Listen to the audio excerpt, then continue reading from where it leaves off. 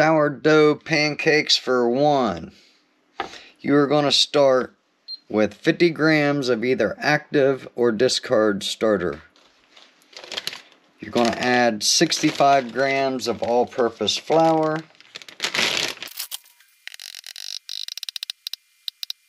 You're going to add 3 grams of baking powder.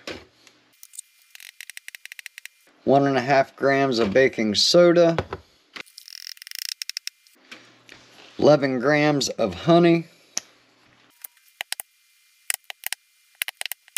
94 grams of milk. I use powdered milk, so I've got the water pre-measured out. One egg, I use farm fresh eggs. Seven grams of butter. Going to give this a stir and then you're going to let this set for 30 minutes.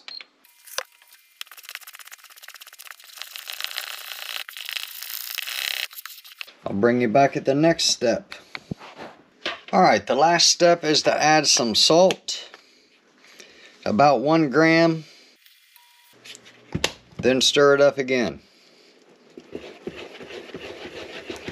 Now one thing I forgot to mention is eggs is about the only thing in this recipe that doesn't scale up well. So here is how you do with the eggs. You use one egg for one to two people. If you're scaling this up to three to four people, you use two eggs. If you're going to do five or six people, you use three eggs. If you're going to do uh, seven or eight people, you use four eggs. So you kind of get the idea how that works.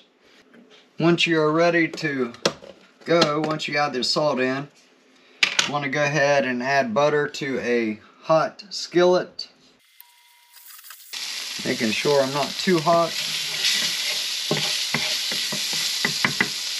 Go ahead and pour your batter in. I like my pancakes kind of big.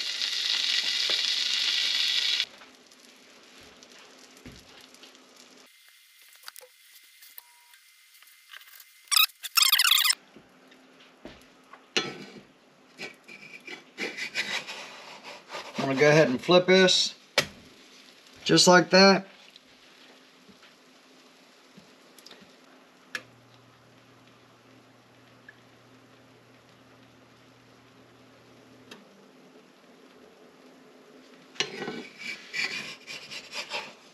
I would say that's done enough.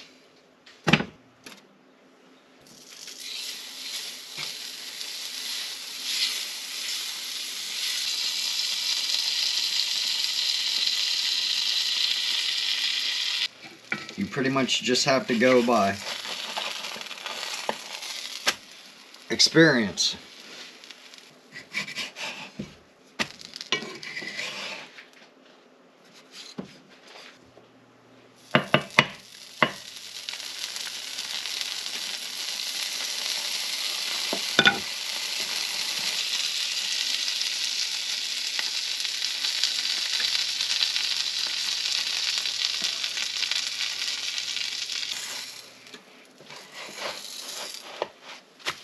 Uh-oh. Should have let that one go a little bit more. Oh well. I'm hungry.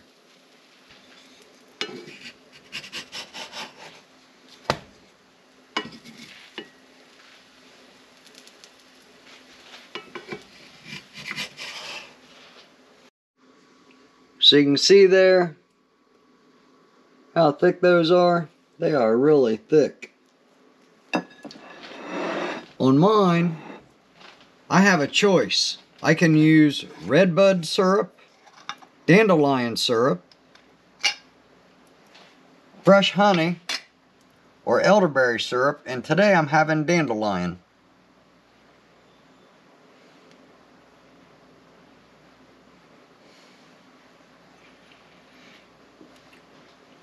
Mmm, nom nom nom. This is really, really good.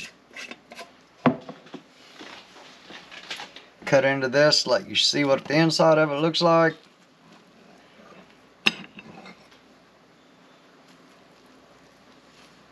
How thick they are. Whoops. Really, really good.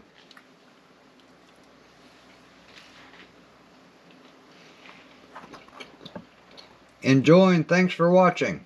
As always, God bless you. God bless your families. God bless your homesteads.